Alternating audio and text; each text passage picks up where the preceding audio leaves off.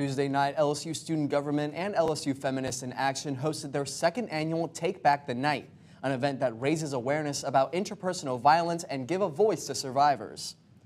The slogan of the night was Shatter the Silence and Prevent Sexual Violence, and the program included messages from state and community leaders urging for better campus safety.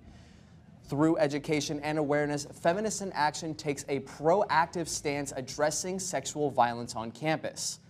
Sexual violence is the most prevalent crime on college campuses. According to the Rape, Abuse, and Incest National Network, college-aged women are twice as likely to experience sexual violence than robbery.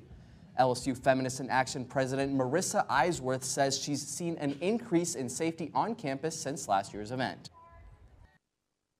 I think the three biggest things that LSU students can take away from this event are a sense of community, a feeling of support, and hopefully knowing that uh, campus is moving in a better direction than where we've been in the past. 50% of all proceeds from Take Back the Night will go to the Iris Domestic Violence Center. Feminists in Action is also hosting a Black Femicide Awareness panel tonight at 6 in Coates Hall.